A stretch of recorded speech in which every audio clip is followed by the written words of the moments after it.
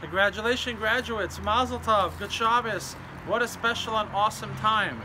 You know, when it comes to graduation weekend this year, for Goldie and I, it's the 16th year that we're completing here in Champaign. Looking forward to enter our 17th year shortly.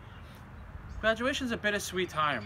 On the one hand, you know, when you build a community, you always look forward to have your community forever and continue building. But working with students on campus, students leave, and it's not always easy.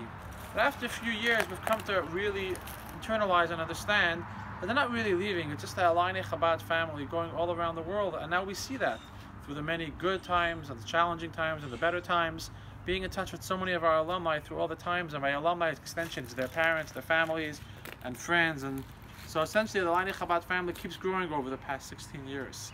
When I think about graduation, I think about the word that's used, commencement. What does commencement mean? Commencement actually means begin not end. So what is graduation? Are we ending or are we really beginning? The truth is, it's these four years. The Rebbe always taught why it's so important to have Chabad on campus is because these four years is at a pivotal years in people's lives.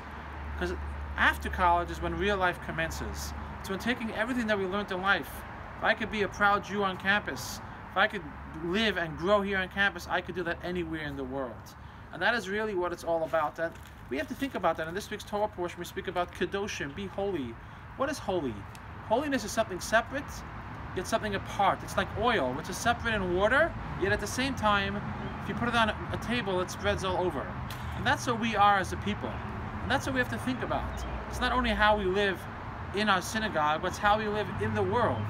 How we treat others, how we act with others, how we do with others. And my wish to all of you today is to think about what are we commencing? Although most of us aren't graduating this weekend, but we are graduating from another year, another day, another experience. And we should always think as each day ends, what are we commencing into the next day? How are we living within it, but above it? How am I feeling for myself, what I truly am, and therefore be able to embrace the world without any fear. I wish you Shabbat Shalom, all the graduates, happy graduation, and to all the many others that are part of this great few minutes reflection each week. I wish you all Shabbat Shalom.